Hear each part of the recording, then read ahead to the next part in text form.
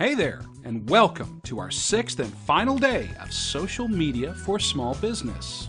Throughout the course, we've discussed tips and tricks for using Facebook, YouTube and web video, Twitter, Pinterest, and Vine for your business. Today, I'd like to reiterate some of the most important guidelines when using social networking and share with you some information on how to successfully use all of your social networking accounts in harmony. First of all, it's important to optimize your About Me or description. Keep it clear, concise, and accurate while naturally using keywords for your business. Secondly, you need to remember to stay appropriate and relevant to your business with your posts. You want your audience to be interested and engaged, but you also want to provide them with useful information to position yourself as an expert in your industry, not just some business that likes to post random cute cat videos. Unless, of course, that is relevant to your business. In that case, post away. One of the most important things you need to keep in mind about social networking is that it was created to allow users to socially connect with others and share things of interest. The reason that using social networking to promote your business has such a high impact is because it allows you to create a personal relationship with your customers and causes them to feel more connected to you and your business. In order to best use social networking to create deep and meaningful connections with your customers, you need to remember to always respond to comments and questions. Social media has made it easy for users to directly and publicly address businesses with questions, comments, and complaints. This creates an amazing opportunity to positively react to negative feedback in a public manner responding to negative comments and posts about your business, and trying to work with an unsatisfied customer to make them happy shows that you care about your customers, value their opinions, and want to make sure that they always have a positive experience with your business. If you don't respond, people are just going to think that you don't care.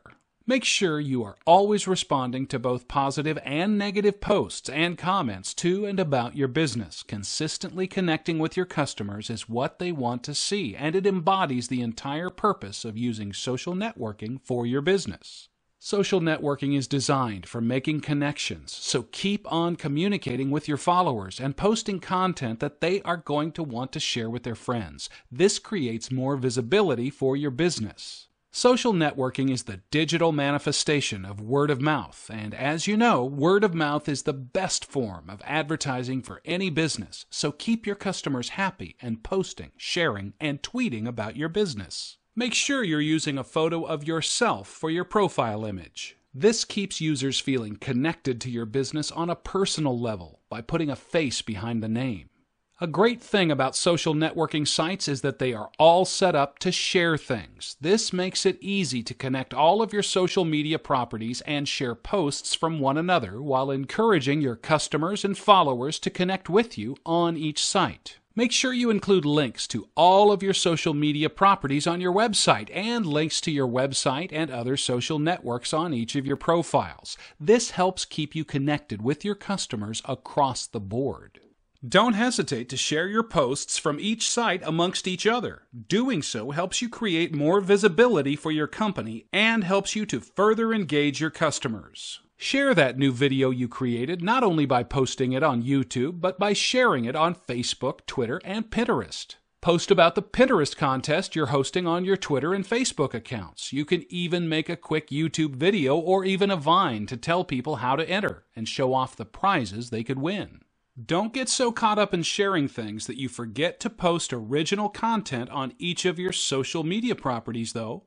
The opportunity for growing your business through social networking is insane. One last thing I would like you to keep in mind is to start small. If you're just a beginner to social networking, start with one site and master it before adding something else onto your plate. Successfully managing all of your social media properties can be a challenge and time consuming, but the benefits are massive if you need help getting started or help managing your accounts, or even have some questions or feedback about our course, contact us today. Thanks for following along with us this week. Talk to you soon.